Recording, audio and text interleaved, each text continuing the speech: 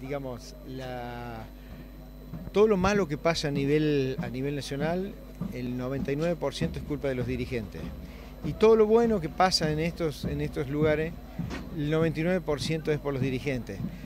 Se propusieron hacer un, partido que fuera una fiesta, preparar bien la cancha, dividirla, hacer un buen operativo policial sin ningún tipo de, digamos, de excusas.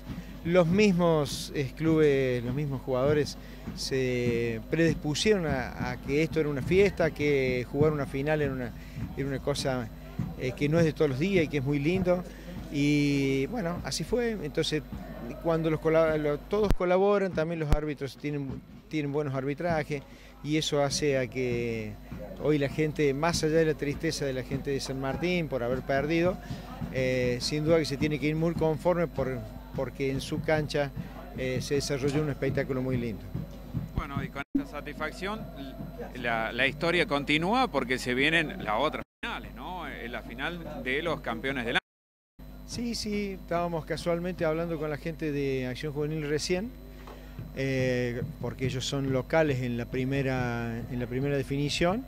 Y, bueno, está justo que el, domingo que viene, en el horario que habíamos previsto, está el partido eh, en River Boca. no se sabe dónde se va a jugar y si se va a jugar.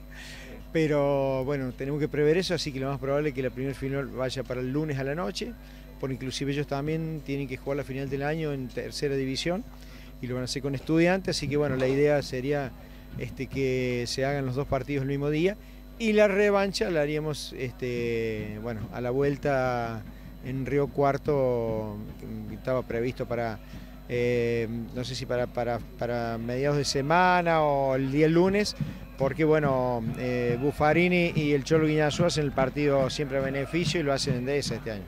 Bueno, eh, a, seguir con la fiesta y gracias por, eh, estar siempre aquí presente en, todos los eventos. Muchísimas gracias y bueno, quiero felicitar a, los dirigentes de, San Martín que realmente han disfrutado de esto más allá de, no haber podido lograr el campeonato. Pero este, ha sido gusto tener equipos en la liga, ha sido gusto que quien va a ser representante en el, este, digamos, en el federal este amateur, eh, que se quedaron hasta el último momento, acompañaron a la gente juvenil, sabiendo que un campeonato se festeja.